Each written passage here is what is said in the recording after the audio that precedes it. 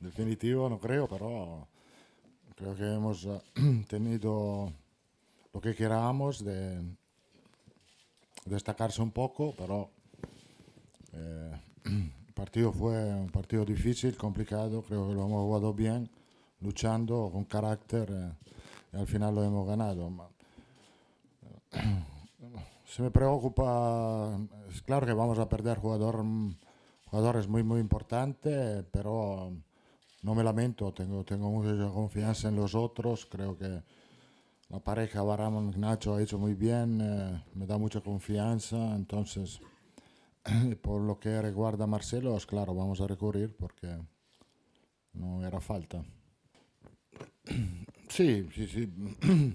Creo que eh, lo que perdimos sobre todo experiencia, pero de vez en cuando el entusiasmo eh, es una buena cosa. Co- Como he dicho,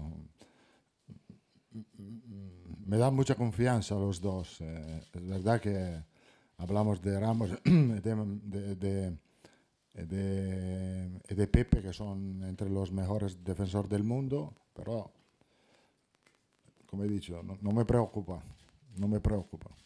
No, io credo che non- non- non- l'equilibrio non dipende da un jugador o l'equilibrio de- dipende da un equipo y de la ganas de trabajar de todos, de la inteligencia que tenemos que ne- tener en el campo. Entonces, no creo que con un jugador tenemos más equilibrio, con un otro no.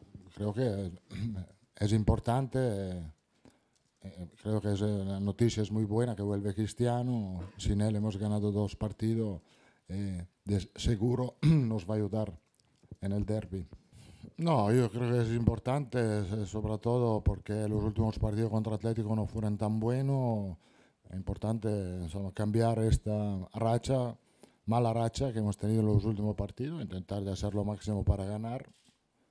Va a ser un partido muy, muy complicado, pero tenemos confianza que, puede, que, puede, que podemos hacer algo distinto. No pensamos eh, que si ganamos... eh,